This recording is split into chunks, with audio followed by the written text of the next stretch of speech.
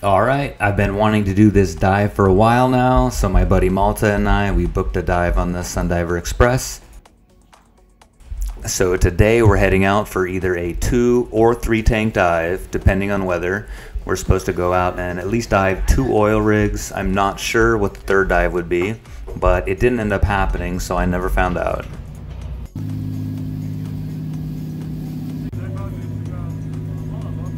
On our way out, we saw a lot of these container ships. I asked about them. They said there was some type of labor dispute, so they've been backed up. It was about a 20 minute ride out to our first rig. People had scooters, doubles, singles, wetsuits, dry suits, a little bit of everything out there. The first rig we dove is the Eureka. It sits in about 700 feet of water and there's a crossbeam every approximately 60 feet. We dropped down to 60 feet, didn't go deeper than that, and took a look at everything. There was lots of life there.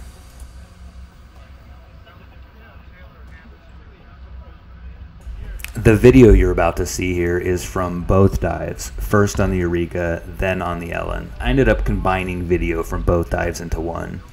The first dive on the Eureka was murky and a bit surgy. It wasn't my favorite dive, but the second dive more than made up for it. Here's Malta about to do the giant stride off the back of the boat, and I'll be following right behind him.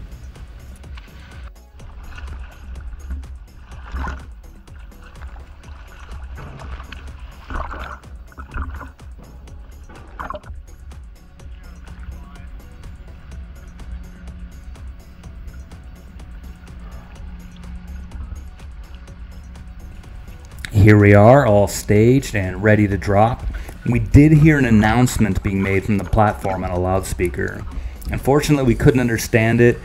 We looked over to our dive boat to make sure everything was okay. It was good, so we headed on down.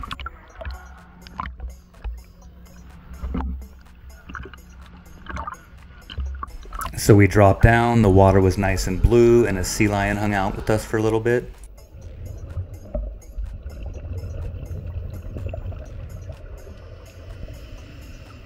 You could see the bubbles coming up from the divers that dropped before us, so we followed them down. Like I said, the first dive was surgy and the visibility wasn't great. Normally I don't mind surge, but this time it was a bit frustrating. But on the second dive, the surge calmed down and the visibility opened up and it more than made up for it. If you have a fishing license, you're allowed to collect scallops. They got a bunch of them, brought them back to the boat, sliced them up, and served them with wasabi.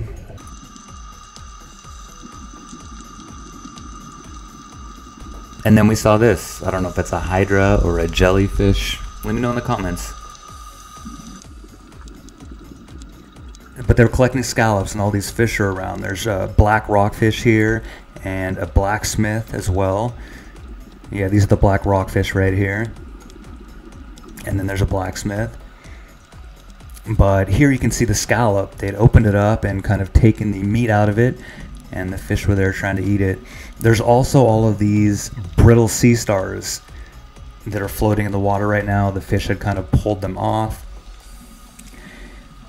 On the pillar, though, you can see them. It just looks like hair. It's just covered in these brittle sea stars. It's pretty amazing. There's also a lot of these strawberry sea anemones, and then there's a scallop there on the bottom.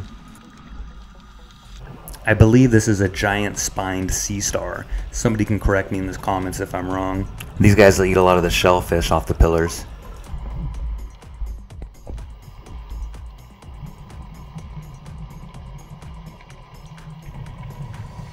Here is video from the oil platform Ellen. It's brighter here, visibility is better.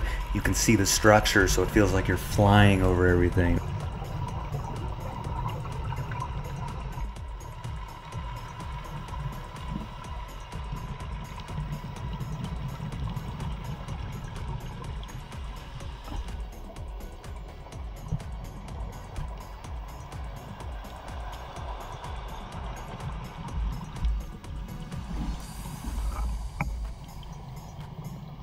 Does anybody know what these yellowfish are? Leave in the comments.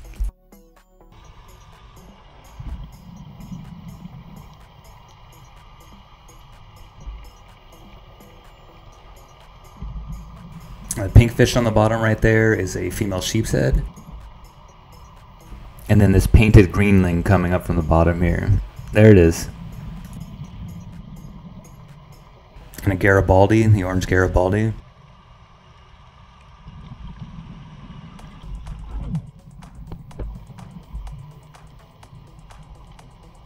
I believe these are some small sea anemones.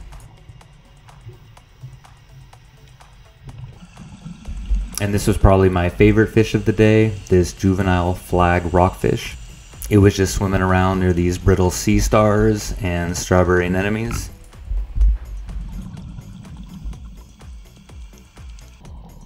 And something new to me was this pelagic salp. When I would shine my light on it, that filament would light up like a light bulb. And here's this small hydrozoa. It's about the size of a strawberry, maybe, maybe a little smaller, and it's related to jellyfish and corals.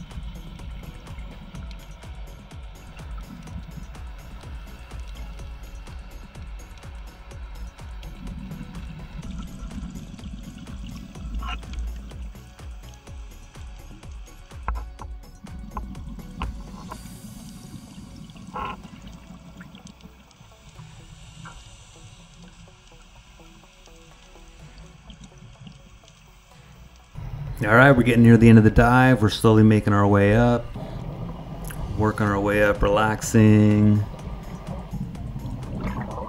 and doing the safety stop. We didn't end up doing the third dive. Apparently, there was some weather coming in, so we headed back. It was such a good second dive. I'm glad I did it. And here's the sheep's head they got, some scallops, he said he was going to take them home and saute them up in some garlic and butter. Here was an amazing sailboat we saw on our way back in.